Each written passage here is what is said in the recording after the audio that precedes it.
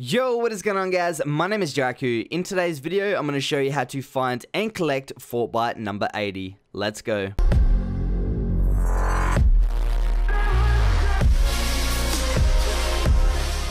Alright, so the description that we get Fortbyte 80 is accessible by using the Bunker Basher pickaxe to smash the rock at the highest point of the volcano rim. So first thing that I want you guys to do is go into your battle pass and make sure that you're at least tier 38 in which at tier 38 we unlock the Bunker Basher pickaxe. If you are at or above that tier, go into your locker, equip that pickaxe and save and exit. Once you've done that, load up into a game. Once we are in a game, we're going to bring up our map and locate the volcano. I'm just going to mark around the outer edge of the volcano once you've done that, jump out of the battle bus, make our way there, and land on the outside of the volcano, and just run our way around to the tallest point of that volcano. Once you get there, you will notice a rock. Go ahead and hit it with your pickaxe, and the Fortbyte will pop out. Go ahead and collect it, and challenge complete. If this video helped you out, make sure to like, comment, and subscribe, and I'll see you guys later.